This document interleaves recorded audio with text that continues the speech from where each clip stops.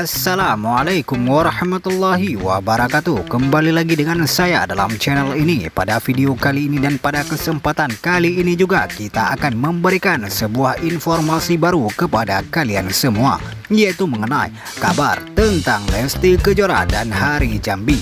Bagaimana kabar terbaru tentang kisah mereka sekarang ini? Simak videonya sampai habis Sebelum kalian lanjutkan video ini, jangan lupa untuk mendukung channel ini dengan cara subscribe, like, share, dan tekan tombol loncengnya. Jangan lupa juga untuk berikan kritikan dan masukan melalui komentar di bawah video ini. Lika-liku perjalanan kisah cinta antara Lesti Kejora dan Hari Jambi kian menimbulkan teka-teki dan tanda tanya buat publik. Keduanya tidak pernah mengklarifikasikan dan memberikan pernyataan tegas terhadap status hubungan mereka saat ini. Meskipun Lesti Kejora sudah menjelaskan bahwa antara Lesti dan Hari Jambi hanya berteman biasa dalam acara Bunda Dona.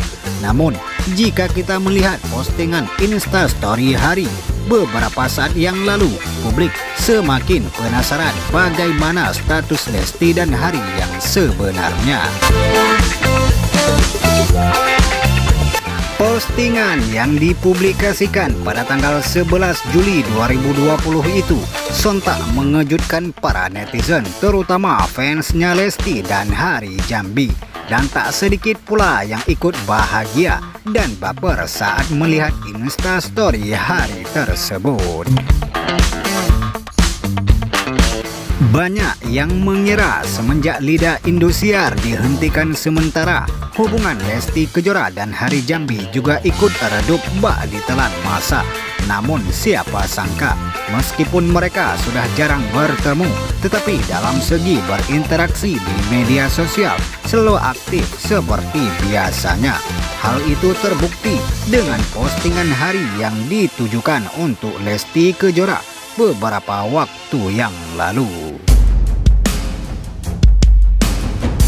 Dalam unggahan tersebut juga membuktikan dan memberikan sebuah kode kepada masyarakat mengenai kedekatan hubungan mereka selama ini dan tak tertutup kemungkinan bahwa postingan itu menggambarkan pemberitaan selama ini keduanya sedang menjalin hubungan yang lebih serius dan benar adanya.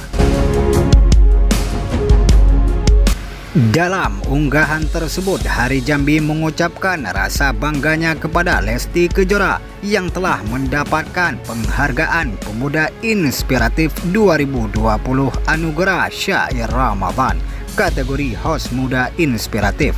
Selamat Yaneng, tulis Hari. Dari Insta Stories tersebut juga menjelaskan karir Lesti pertama kali menjuari The Academy tahun 2004 yang lalu hingga perjalanan karir Lesti yang dipercaya menjadi juri di Lidah Indosiar 2020. Sampai saat ini, ia juga dipercaya menjadi host dalam acara Akademi Sahur Indonesia atau Aksi Indosiar.